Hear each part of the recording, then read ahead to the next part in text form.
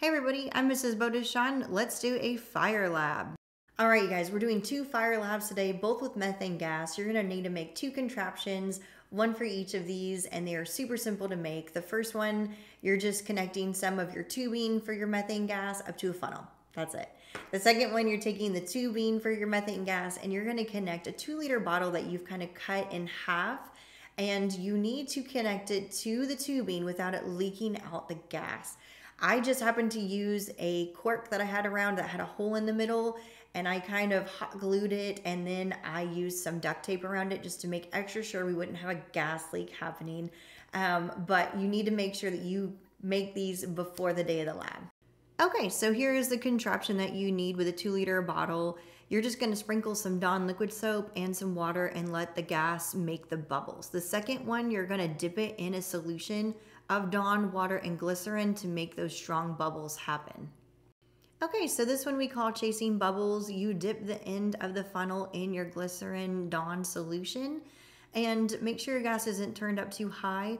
As soon as that bubble releases away from your gas source, we have a yardstick with a candle lit on the on the end and you will um, catch it and it will ignite on fire.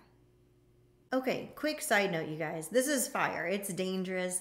I need you to make sure that you are using lab safety at all times and never do anything in a science classroom that you feel hesitant about or that you are unsure about. We practice this many, many times before we ever had students in the room to get our comfort level good. All right, so you're gonna wanna turn the lights out for this experiment and make sure everyone is well away from your flame. Um, go ahead and conduct it. I'm showing you this in slow motion so you can see because it takes a second to learn how to catch these bubbles and set them on fire. Um, but make sure you have that fire extinguisher handy and your fire blanket ready to go. But isn't this awesome? This is such a fun way to end the year. Okay, next demo. Wet your hands and arms all the way up to your elbows for safety. Grab some of those bubbles that are coming off the top of the two liter and you're gonna light it from underneath.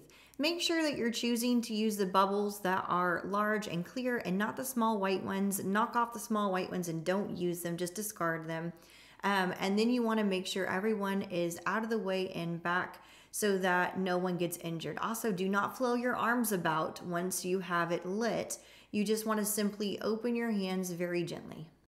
All right, you guys, I hope you enjoyed these science demos. If you want to see more science labs, go ahead and subscribe and like this video. I'll see you all next time. Bye, everybody.